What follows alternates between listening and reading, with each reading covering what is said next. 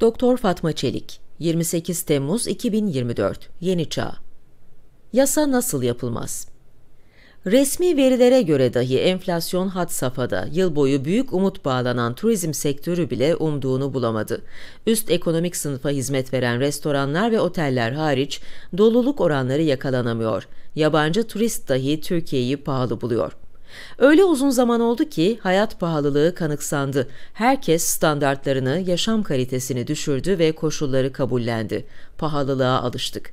Bu alışma halinden de güç alarak iktidar ortaya büyük bir tartışma çıkaracağı belli olan bir yasa teklifiyle geldi. Sokak hayvanlarını barınaklara toplama ve ötenazilere müsamaha gösteren bu düzenlemelerin tepki çekeceği ilk andan belliydi. Neticede beklenen oldu, son haftalarda ülkenin sosyal medyanın bir numaralı gündem maddesi sokak hayvanları yasası oldu.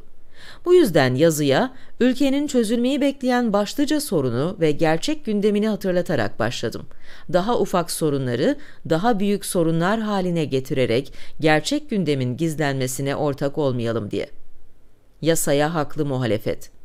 Ancak bu hatırlatmam, sokak hayvanları ile ilgili konuyu gündemde tutmayı haklı bir mücadele olarak görmediğim anlamına gelmiyor.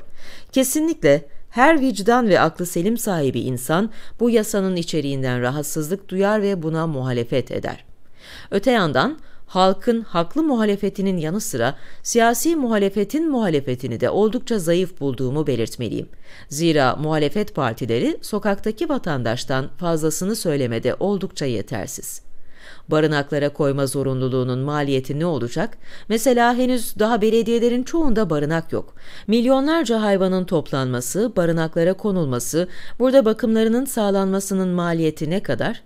Kısırlaştırmanın maliyeti yüksek diye uygulanmadığını düşünürsek, kısırlaştırma ve ilçelere barınak yapılarak oralarda hayvanları besleme maliyeti arasındaki fiyat farkı da ortaya konulmalı.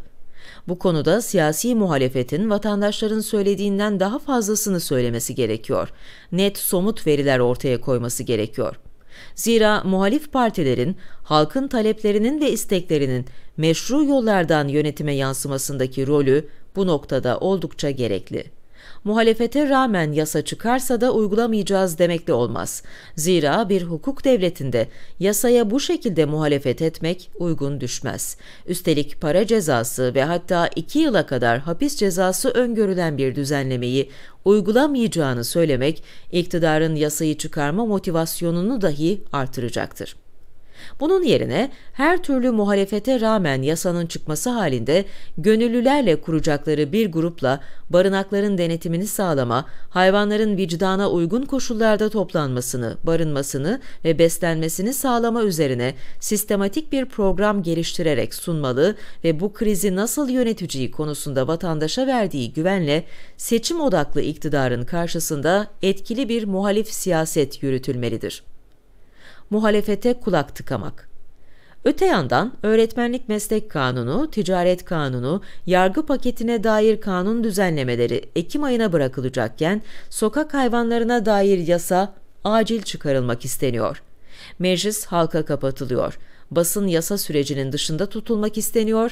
Konu hakkında en bilgili olan hayvan hakları dernekleri tartışmanın dışında bırakılıyor.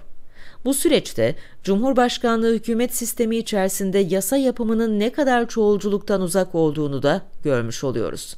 Oysa yasa yapma sürecinin şeffaf olması, isteyenlerin bu sürece tanıklık edebilmesi, gerektiğinde muhataplarından hesap sorabilmesi, mümkün olduğunca fazla uzman görüşü alınması demokratik sistemin bir gereğidir.